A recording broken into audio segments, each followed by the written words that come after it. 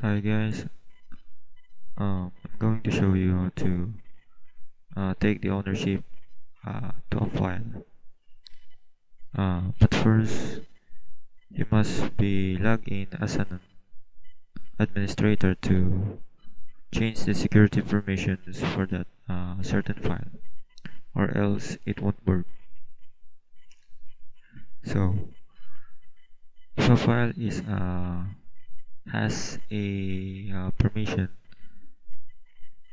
Can you can you cannot um, delete that or you cannot move that to another uh, uh, location.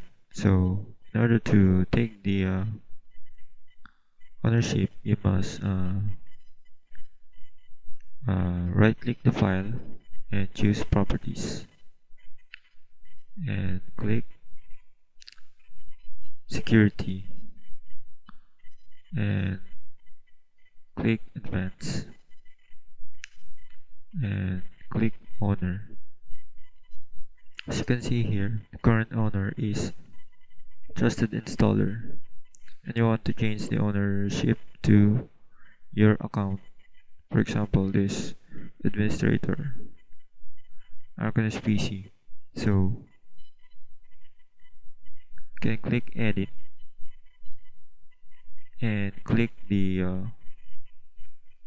your uh, account. Click apply. Okay. Uh, you can see here the ownership is now in your uh, account. So click ok ok again select your uh, uh, account and click edit. Select your account again and click under full control allow.